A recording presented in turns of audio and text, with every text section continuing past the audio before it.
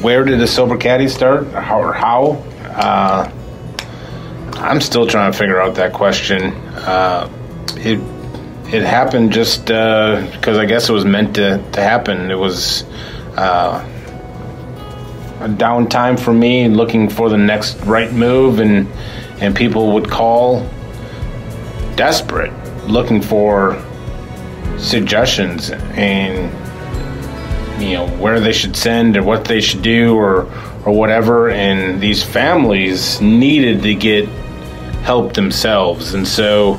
Um, you know, it started out to help their son and then turned into coaching, empowering, and helping families. And then, you know, more and more people are calling about getting out of treatment. So I spent, you know, six years or so, seven years getting people into treatment, but my phone was ringing with people leaving treatment or about to leave treatment and families desperate for what's next. They just didn't want to get right back in the spin cycle of sending their loved one in and out of treatment for the rest of their lives. And so they would call me and looking for the next right answer. So it kind of just happened by accident. Uh, I, I was desperate to to get people into treatment and uh, my phone kept ringing for people leaving treatment and trying to get uh, the next right thing. So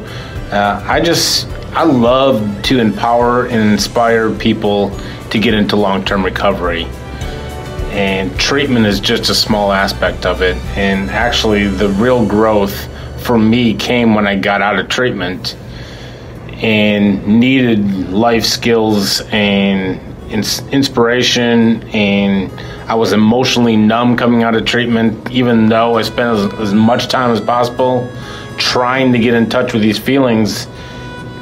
It's it's an ongoing thing for me to become emotionally numb to feeling, digesting, and processing anger, loneliness, fear, pain, shame, joy, even. So